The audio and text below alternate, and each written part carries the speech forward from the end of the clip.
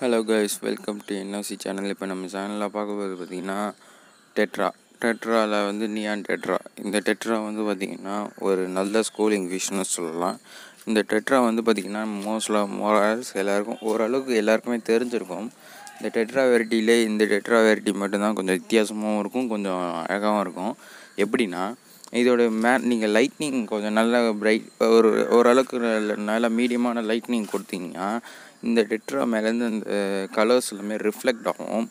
அது வந்து பார்க்க ரொம்ப நல்லா இருக்கும். ப்ளஸ் வந்து உங்களுக்கு டேங்க்கில் வந்து அதுங்கெல்லாம் ஸ்கூலிங் அதாவது இந்த மாதிரி குரூப்பாக சுற்றும் போது பார்த்திங்கன்னா அந்த ரிஃப்ளெக்ஷன் வந்து ரொம்ப அருமையாக இருக்கும். இது வந்து பார்த்திங்கன்னா ஒரு நல்ல அக் அக்ரெஷன் காட்டாத ஒரு நல்ல ஃபிஷ்ஷுன்னு சொல்லலாம். இது வந்து ரொம்ப சாஃப்ட் நேச்சரு இந்த ஃபிஷ்ஷஸ்க்கு வந்து அக்ரேஷன் வந்து அந்தளவுக்கு காட்டாது. இப்போ ப்ரீடிங் பொறுத்த வரைக்கும் பார்த்திங்கன்னா எக்ஸ் தான் லே பண்ணோம். அதுவும் பிளான்டேஷன் டேங்க்கு தான் ரொம்ப மோஸ்ட் மோரல்ஸ் இந்த பெட்ஸுக்கு எல்லாத்துக்குமே அதாவது இந்த டெட்ரா வெரைட்டிஸ் எல்லாத்துக்குமே பிளான்ட்ஸ் தான் முக்கியமானது. எந்தெந்த ஃபிஷ்ஷஸ் வந்து பிளான்டேஷன் டேங்க்கில் இருக்குன்றத வீடியோ வந்து அடுத்தது அப்லோட் பண்ணுறேன் கண்டிப்பாக அது ஒரு அப்டேட் போடுறேன். இப்போ இந்த வீடியோ இந்த மீனை பற்றி பார்ப்போம். இந்த மீனுக்கு வந்து ஃபீடிங் பார்த்தீங்கன்னா வெள்ளட்ஸு ஃப்ளேக்ஸ் எல்லாம் கொடுக்கலாம். அது வந்து லைஃப் ஃபுட் கொடுத்தா இன்னும் கொஞ்சம் நல்லாயிருக்கும் ஏன்னா இதோட க்ரோத்தும் இருக்கும் கொஞ்சம் இம்யூன் சிஸ்டமும் இருக்கும். இந்த ஃபிஷ்ஷஸ் வந்து பார்த்திங்கன்னா அமேசான் அந்த சைடு அதாவது அமேசான் ரிவர் சைடில் இந்த ஃபிஷ்ஷஸ் வந்து அவைலபிள் அங்கேருந்து இதை இம்போர்ட் பண்ணி கொண்டு வர்றது தான் இது ஒரு நேச்சுரல் ப்ரீட்னு சொல்லலாம். இதுக்கு வந்து கொஞ்சம் வாட்டர் கண்டிஷன் பிஹெச் லெவல் இதெல்லாமே கரெக்டாக இருக்கணும். அதாவது பிஹெச் லெவல் வந்து த்ரீ டூ டூ வரைக்கும் இருந்தால் நார்மலாக ஓகே தான். அதுக்கு மேலே அதிகமாகக்கூடாது. அப்புறமேட்டு இதுக்கு வந்து பார்த்திங்கன்னா போர்வெல் போர்வெல் வாட்டர் அதாவது அண்டர் கிரவுண்ட் வாட்டர்லாம் யூஸ் பண்ணலாம். பட் அண்டர் கிரவுண்ட் அதாவது நீங்கள் வந்து யூஸ் பண்ணும்போது கொஞ்சம் பா ஒரு நாள் தண்ணியை பிடிச்சி வைங்க. டேங்க் க்ளீன் நாளைக்கு க்ளீன் பண்ண போகிறீங்கன்னா இன்றைக்கி வந்து டேங்க்கில் வந்து தண்ணி அதாவது ஒரு தொட்டியில் தண்ணி பிடிச்சி நிறுத்தி வைங்க. நிறுத்தி வச்சிங்கன்னா அதில் இருக்கிற சப்ஸ்டன்ஸு அப்புறம் இந்தமாரி இந்த மாதிரி இதெல்லாமே அமோனியா இந்த மாதிரி ஏதாவது இருந்ததுன்னா கெ கெட்ட சப்ஸ்டன்ஸ்லாம் இருந்ததுன்னா அது வந்து குறையும். குறைஞ்சதுக்கப்புறம் நீங்கள் தொட்டியை க்ளீன் பண்ணிவிட்டு அப்புறம் அந்த டுவெண்ட்டி பர்சன்ட் அதாவது இப்போ நீங்கள் க்ளீன் பண்ண போகிற டேங்க்லேருந்து டுவெண்ட்டி பர்சன்ட் வாட்டர் எடுத்து அந்த புது தண்ணி அதாவது நீங்கள் பிடிச்சி வச்சுருப்பீங்க. முந்தாண்டிக்கு பிடிச்சி வச்சுருப்பீங்க. அந்த தண்ணியில் ஊற்றி நீங்கள் வச்சிட்டிங்கன்னா கொஞ்சம் ஆல்கி அதாவது என்ன சொல்கிறது குட் பாக்டீரியாஸ் எல்லாமே வளர்ந்துடும் ஏற்கனவே நீங்கள் வச்சுருந்த மீன் தொட்டியில் வந்து பாக்டீரியாஸ் இருக்கும். அந்த மீனுக்கு இருந்து அந்த கண்டிஷனில் இருந்திருக்கும்.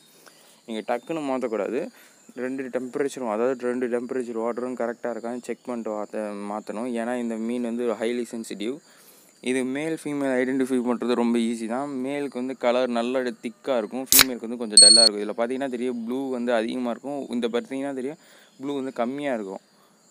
ப- அதுதான் மேல் ஃபீமேல்னு ஐடென்டிஃபை பண்ணுறது அதாவது மீடியம் சைஸ் அதாவது மே- ரொம்ப சின்ன சைஸில் கண்டுபிடிக்க முடியாது. கொஞ்சம் மீடியம் சைஸ் வளரணும். வளர்ந்தால் மட்டும் தான் கண்டுபிடிக்க முடியும். அப்புறமேட்டு இந்த ஃபிஷ்ஷஸ் வந்து நேனோ டேங்க் அந்த மாதிரி சின்ன சின்ன டேங்க்ஸ்லேயும் வச்சு இது பண்ணிக்கலாம். ஆனால் ஃபில்ட்ரேஷன் கொஞ்சம் கொடுக்கணும். பிளான்டேஷன் கண்டிப்பாக தேவை. இதுலேயே நிறைய வெரைட்டிஸ் இருக்குது ஏதாவது நியான் டெட்ராலே இருக்குது கார்டினல் டெட்ரா இருக்குது. அப்புறம் இந்த மாதிரி ரெண்டு டைப் இருக்குது இதிலே அதாவது கார்டினல் டெட்ராக்கும் நியான் டெட்ராக்கும் என்ன டிஃப்ரென்ஸ்னால் ரெட் கலர் வந்து பெருசாக வந்தால் அது கார்டினல் டெட்ரா ரெட் கலர் சின்னதாக வந்தால் ஏன்னு தேடுறா? அவ்வளோதான் டிஃப்ரென்ஸு அது இதை கொண் இதை விட ஒரு இன்ச் அதாவது ஒரு கொஞ்சம் ஜான் வரைக்கும் வளரும். அதாவது கொஞ்சம் அதாவது இன்ச் படி வளரும். அது கொஞ்சம் ஹைட்டாக வளரும். அவ்வளோதான் டிஃப்ரென்ஸு பட் ரெண்டுமே ஒரே டை ஒரே இதுதான். நீங்கள் நிறையா நிறைய டெட்ராஸோட வந்து நீங்கள் மிங்கிள் பண்ணியே விடலாம். அது ஒன்றும் பிரச்சனை இருக்காது. ஏன்னா டெட்ரா வெரைட்டிஸ் எல்லாமே ஒரே கேரக்டரிஸ்டிக் தான். அது ஒன்றும் பிரச்சனை இருக்காது. பட் ஒரு சில நேரத்தில் மிங்கிங் பிரச்சனை வரலாம். அதாவது டெட்ரா அது வேற இனம் இது வேற இனம்ன்றதுனால டெட்ராக்கு பிரச்சனை வர்றதுக்கு சான்ஸ் இல்லை. ஏன்னா டெட்ரா எப்பயுமே அமைதியான டைப் தான். எப்பயுமே சண்டை போட்டுக்காது. அதுங்களுக்குள்ளேயும் சண்டை போட்டுக்காது. பிகினஸ் இது வந்து அவாய்ட் பண்ணுறது நல்லது. ஏன்னா இது வந்து ரோ ஹைலி சென்சிட்டிவ் இந்த மீன்லாம் டக்கு டக்குன்னு சாகிறதுக்கு சான்ஸ் இருக்குது அதை மட்டும் பார்த்துக்கோங்க. குளோரின் வாட்டரா உங்கள் சைடில் குளோரின் வாட்டர் இருந்ததுன்னா இந்த மீனை என்ன பண்ணோன்னா அதாவது தண்ணியை வந்து ஒரு நாள் பிடிச்சி வச்சுக்கோங்க. பிடிச்சி வச்சுட்டு அதில் வந்து குளோரின் கம்மி பண்ணுறதுக்கு நிறைய மெடிசின்ஸ் இருக்குது. அப்படி இல்லைன்னா நார்மலாக கம்மி பண்ணோன்னா ரெண்டு நாள் தண்ணியை பிடிச்சி வச்சு ரெண்டு நாள் குறை அப்படியே வச்சுருந்தீங்கன்னா கொஞ்சம் குறையும். குறைஞ்சதுக்கப்புறம் குளோரின்லாம் இதாகிடும் அப்புறமேட்டு நீங்கள் என்ன பண்ணுங்கன்னா அந்த தண்ணியில் வந்து சர்க்குலேட் கொடுங்க. ஆக்சிஜன் சர்க்குலேட் கொடுத்தீங்கன்னா கொஞ்சமாவது அந்த சர்க்குலேஷன் வரும்போது கொஞ்சம் குறைஞ்சிரும் குளோரின் எல்லாமே. அப்புறமேட்டு நீங்கள் இந்த டுவெண்ட்டி பர்சன்ட் வாட்டர் சேஞ்ச் அதாவது பழைய தண்ணியை இந்த டுவெண்ட்டி பர்சன்ட் வாட்டரை எடுத்து அதை மேல் தண்ணியை மட்டும் எடுக்கணும். அடி தண்ணி எடுக்காதீங்க எப்பயும். மேல் தண்ணியை எடுத்து நீங்கள் அப்படியே இது பண்ணுங்கள் அப்படி இல்லையா? என்ன பண்ணணும்னா டேங்க்கை சுற்றி நீங்கள் அதாவது டேங்க்கை சுத்தம் போடுறதுனா டேங்கை சுற்றி தான் இது பண்ணுவீங்க. அதனால் என்ன பண்ணுங்கன்னா டேங்கை சுற்றி நீங்கள் ஃபஸ்ட்டு க்ளீன் பண்ணிடுங்க. அதாவது மீனெல்லாம் கொஞ்சம் அதாவது அதே தண்ணியில் கொஞ்சம் மேல் தண்ணியை மட்டும் பாதியாக எடுத்து அப்படியே எடுத்து த ஒரு டப்பில் வச்சுருங்க. அதில் வந்து அந்த மீன்களை போட்டுருங்க. அதே தண்ணியில் தானே இருக்கும். அப்போ வந்து கீழே இருக்கிற வாட்டர் மட்டும் அப்படியே இருக்கும். அப்படியே க்ளீன் பண்ணிவிட்டு அப்படியே நீங்கள் என்ன பண்ணுங்கள் தண்ணி ஊற்றிட்டு நல்லா தொடச்சிட்டு அதுக்கப்புறம் நீங்கள் அந்த தண்ணியோட மீனையும் சேர்த்து விட்டுருங்க. அந்த தண்ணியும் மீனையும் ஊட்டும்போது கொஞ்சம் பாதி தண்ணி இருக்கும். அதாவது டேங்க்கில் பாதி தண்ணி இருக்கும். மீதி தண்ணியை வந்து புதுசாக பொறுமையாக ஆட் பண்ணுங்கள் சடனாக ஆட் பண்ணிங்கன்னா நீங்கள் சேஞ்சஸ் வரும் அதுங்களுக்கு. ஸ்ட்ரெஸ் அதிகமாயிரும். இதோட நிம்பி அதாவது சொன்னேன் இது ஒரு ஸ்கூலிங் ஃபிஷ்னு இப்போ ஸ்கூலிங் நேச்சர் இப்போ பார்க்குறீங்க நீங்கள் இந்த ஸ்கூலிங் நேச்சர் எங்கேருந்து கேப்சர் பண்ணாலும் ஃபாரினில் ஒரு அக்வாரம் அதாவது அக்வாரம் அந்த அவங்க வந்து இந்த மீன்களுக்கு எல்லாத்துக்குமே என்ன பண்ணுவாங்கன்னா பெரிய அண்டர் கிரவுண்ட் அக்வாரியம் வச்சுருப்பாங்க பெரிய அக்வாரியமாக அதில் வந்து எல்லோரும் பார்க்குற மாதிரி வச்சுருப்பாங்க. அதில் இந்த டெட்ரா வெரைட்டிஸுக்குன்னு தனியாக ஒரு அக்வாரம் இதில் பார்த்தீங்கன்னா தெரியும். எவ்வளோ பெரிய ஸ்கூலிங் நேச்சர் இருக்குன்னு பாருங்கள் எல்லாம் ஒன் பை ஒன்னாக வரும். இந்த மாதிரி உங்கள் வீட்டில் வச்சா எப்படி இருக்கும்? அப்படின்றத நீங்கள் கமெண்ட் செக்ஷனில் கமெண்ட் பண்ணுங்கள் நிறைய பேர் இந்த ஃபிஷ்ஷஸும் வச்சுருப்பீங்க. நம்ம இது நம்ம சேனலில் பார்க்குறவங்க நிறைய பேர் வச்சுருப்பீங்க கண்டிப்பாக உங்களோட எக்ஸ்பீரியன்ஸையும் ஷேர் பண்ணுங்கள் கண்டிப்பாக நான் பார்ப்போம். இதில் வந்து நிறைய வகை டெட்ரஸ் இருக்குது அந்த டெட்ரா மட்டும் இல்லை ரெ ரெட் நோஸ் டெட்ரா அந்த மாதிரி நிறைய வெரைட்டிஸ் இருக்குது இதில். இது மட்டும்தான் இது ப்ளூ டெட்ரா அதாவது கொஞ்சம் நிறையா இருக்கும் ப்ளூ டெட்ரா இதில். இந்த இதில் பார்த்திங்கன்னா நிறையா இருக்கும். அது வுட்டு செட்டப் இது பார்த்தா நேச்சுரல் செட்டப்பில் இருக்கும். அதுங்களுக்கு வந்து நான் வித்தியாசமாக தெரியாது அதுங்களுக்கு. அதாவது ரொம்ப ஸ்கூலிங் நேச்சர் அதிகமாக இருக்கும். ஆனால் இந்த டெட்ராஸில் ஒரு ட்ராபேக் என்னென்னா அதோட எக்ஸை அதுவே சாப்பிடும். எல்லா மீன் மீனுக்கும் இருக்கிற பிரச்சனை தான். அதோட எக்ஸை அதுவே சாப்பிட்ருமா அதனால் அது வந்து கொஞ்சம் பார்த்துக்கணும் மற்றபடி ஒன்றும் பிரச்சனை இல்லை. அதாவது அது நீங்கள் ஃபில்ட்ரேஷன் கொஞ்சம் நல்லா நார்மலாக கொடுத்தா போதுமானது. இது பூப்ஸ் வந்து அதிகமாக ப்ரொடியூஸ் பண்ணாது. அது ஒரு மெயின் இது. அதாவது மற்ற மீன் மாதிரி இல்லாமல் கொஞ்சம் வந்து நார்மலாக தான் பூப் ப்ரொடியூஸ் பண்ணும். நீங்கள் வந்து ரெண்டு மாதமாக க்ளீன் பண்ணலனாலுமே பூப்ஸ் வந்து கம்மியாக தான் இருக்கும் தண்ணி வந்து அவ்வளோ சைடில் கலங்கலாது என்னென்னா பூப்ஸில் என்னென்னா அது வந்து ஒரு மாதிரி டஸ்ட்டு மாதிரி அது நீந்தும் போதெல்லாம் கீழே வந்து அப்படியே ஓடும். அதெல்லாம் பிரச்சனையே. அதை மட்டும் நீங்கள் கீழே கீழே அதாவது கீழே இருக்கிற பூப்ஸ் மட்டுமே நீங்கள் செக் பண்ணி இழுத்துட்டிங்கன்னா twenty percent water change clean ஆகிடும் அதாவது அது மட்டும் தான் twenty percent water change day ரெகுலராக கொடுத்தி அதாவது ஒரு ரெண்டு நாளுக்கு ஒரு தடவை கொடுத்தீங்கன்னா கூட நல்ல சர்வே ஆகும். தண்ணி வந்து டக்குன்னு மாற்றணும்னு அவசியம் இல்லை.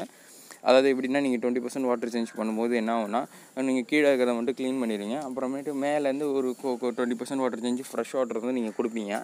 அதுக்கு கரெக்டான சர்க்குலேஷன்லாம் இருக்கும். அதாவது சடனாக சேஞ்சஸ் கொண்டு கொண்டு வந்தீங்கன்னா சடனாக டெத்து நீங்கள் பார்ப்பீங்க கண்டிப்பாக அதனால் கொஞ்சம் இது பண்ணிக்கோங்க. இந்த ஃபிஷ்ஷஸ்க்கு வந்து ஹைடிங் ஸ்பாட்னால் ரொம்ப பிடிக்கும். ஹை இப்போ பார்த்தீங்க போன இதை கொஞ்ச நேரத்துக்கு முன்னாடி பார்த்துருப்பீங்க வீடியோவில் இந்த மாதிரி கொட்டாங்குச்சிக்குள்ளே நிறைய டெட்ராஸ் ஒளிஞ்சிட்டு இருக்கிறத.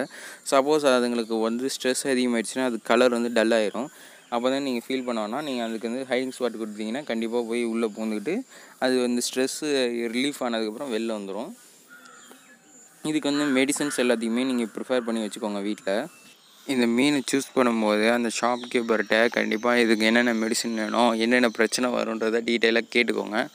அவங்க வந்து டீட்டெயிலாக சொன்னாங்கன்னா கண்டிப்பாக நீங்கள் இந்த அதெல்லாம் உங்களால் கொடுக்க முடியுமான்றதை பார்த்துக்கோங்க. ஏன்னா இது ஒரு சில பேர் என்ன பண்ணுவீங்கன்னா அழகாக இருக்குன்னு வாங்கிடுவீங்க அதுக்கப்புறம் அதுக்கு செலவு பண்ணுறதுக்கு கொஞ்சம் கஷ்டப்படுவீங்க. அதை மட்டும் நீங்கள் பார்த்துக்கோங்க.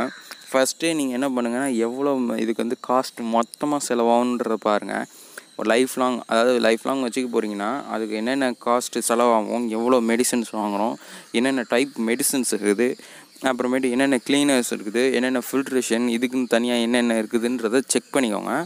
அதெல்லாம் உங்களுக்கு தேவையா? இல்லை ஆல்டர்னேட்டிவாக நம்ம வீட்டிலேயே பார்த்துக்க முடியும் அப்படின்னு நினைப்பீங்க நினச்சிங்கன்னா கண்டிப்பாக நீங்கள் வந்து அதெல்லாம் டீட்டெயிலாக பார்த்துக்கோங்க இதை பற்றி நான் நிறையா பேர் போட்டிருக்காங்க ரிவ்யூஸு அதுலேயும் போய் பார்த்துக்கோங்க ஏன்னா நம்ம வந்து நம்ம ரிவ்யூஸும் தனியாக இருக்கும். அவங்க ரிவ்யூஸ் வந்து ஒரு டைப்பாக இருக்கும். அவங்க கொஞ்சம் டீட்டெயிலாக சொல்லுவாங்க நம்ம கொஞ்சம் ஒரு டீட்டெயிலாக சொல்லுவோம். அதை மட்டும் நீங்கள் செக் பண்ணிக்கோங்க. யார் வந்து ரொம்ப டீட்டெயிலாக சொல்கிறாங்களோ அவங்க ரிவ்யூஸ்லாம் பார்த்துக்கோங்க மறக்காமல் உங்கள் உங்கள் ஃபிஷ்ஷை நீங்கள் நல்லபடியாக கேர் பண்ணுங்கள் ஏன்னா நம்ம நிறைய பேரால் கேர் பண்ண முடியாமல் நிறைய ஃபிஷ்ஷஸ் வந்து விட்ருவாங்க அது அதாவது ச சாப்பிட்டுன்னு விட்ருவாங்க அது மாதிரி பண்ணாதீங்க. நீங்கள் வந்து கொஞ்சம் கேர் பண்ணிக்கோங்க. அது எப்படின்னா இந்த ஃபுல் டீட்டெயில் அதாவது ஃபுல் டீட்டெயில்ஸ் பாருங்கள் இப்போ எவ்வளோ காஸ்ட் ஆகுதுன்னு பார்த்துக்கோங்க. மெடிசின்ஸ்லாம் ஆன்லைனில் இதெல்லாம் ஃபுல்லாக கொடுக்க முடியுமா? மெடிசின்ஸ் சப்போஸ் தீர்ந்துருச்சுன்னா பேக்கப் வச்சுக்க முடியுமா? ரெண்டு மெடிசின் வச்சுக்கோங்க எப்பயுமே. இந்த மீன் வச்சுருக்கிறவங்க ரெண்டு மெடிசின் வச்சுக்கோங்க எப்பயுமே.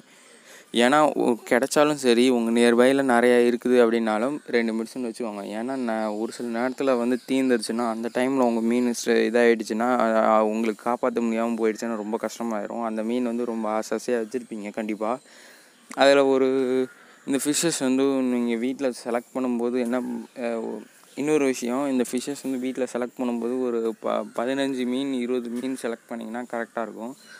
நீங்கள் இந்த ஃபிஷ்ஷஸ் சூஸ் பண்ணும்போது கொஞ்சம் பார்த்து சூஸ் பண்ணிக்கோங்க. ஏன்னா இது ரொம்ப காஸ்ட்லி கூட. நம்ம ஊருக்கு வந்து இது ரொம்ப காஸ்ட்லி அதாவது ரொம்ப அதிகமாக தான் ரேட் சொல்கிறாங்க ஒரு பேரே ஒரு நூறுரூவாய்க்கு மேலே தான் சொல்கிறாங்க கண்டிப்பாக அதை மட்டும் பார்த்துக்கோங்க. ஏன்னா கப்பீஸ் மௌலிஸ் கூட நூறுரூவாய்க்கு நிறைய வாங்கலாம். பட் இதுங்க வந்து கொஞ்சம் அதிகம். அதே சைஸில் தான் இருக்குது. அது மட்டும் பார்த்துக்கோங்க ப்ரீடுக்கு தகுந்த மாதிரி. இது லைஃப் ஸ்பேன் பார்த்தீங்கன்னா ஒரு ஃபைவ் டு சிக்ஸ் இயர்ஸ் அதாவது six years to seven years வந்து கே அதாவது நேச்சுரலில் வருது. நம்ம வீட்டில் வந்து ஃபைவ் இயர்ஸ் வரைக்கும் வருது நார்மலாக ஃபைவ் இயர்ஸ் நல்லா பார்த்துக்கிட்டா ஃபைவ் இயர்ஸு அப்படி ஓரளவுக்கு டேமேஜ் அப்பப்போ வந்துட்டு நோய் வந்துட்டு அதுக்கப்புறம் க்யூர் பண்ணிங்கன்னா ஒரு ஃபோர் இயர்ஸ் அது அது லைஃப் ஸ்பென் குறையும். அதை மட்டும் பார்த்துக்கோங்க. இது வந்து ஒரு நல்ல நேச்சுரல் செட்டப் கொடுத்தீங்கன்னா கண்டிப்பாக சர்வே ஆகும். மற்ற ஃபிஷஸோடையும் மிங்கிள் பண்ணி விடலாம். அதாவது கிரவுண்ட் ஃபீடர் ஃபிஷ்ஷஸ் அது லோச் வெரைட்டிஸ் அதுக்கு அதுங்கெல்லாம் இதை டிஸ்டர்ப் பண்ணாது. அது மாதிரி விடுங்க. பட் லோச் வெரைட்டியில் என்ன பிரச்சனைனா இதுங்க எக்ஸ்லாம் வச்சுன்னா அதுவும் சாப்பிடும். அதை மட்டும் பார்த்துக்கோங்க. ப்ரீடை விடும்போது அதுங்க என்ன அதுங்க என்னென்ன சாப்பிடுன்றதை பார்த்துட்டு நீங்கள் விடுங்க அதுவும் ஒரு எக் லேயிங் ப்ரீடாக இருந்ததுன்னா கண்டிப்பாக ரெண்டுத்துக்கும் பிரச்சனை வராது. அப்பப்போ நிப்பிங் பிரச்சனை வரும். தே மறக்காமல் நம்ம சேனலுக்கு சப்ஸ்கிரைப் பண்ணிடுங்க. மேலே இப்போ அப்டேட்டட் வீடியோஸ் பார்ப்போம். மறக்காமல் நம்ம சேனல் ஐக்கனை கிளிக் பண்ணி சப்ஸ்கிரைப் பண்ணிடுங்க. தேங்க்யூ ஃபார் வாட்சிங் கீப் வாட்சிங்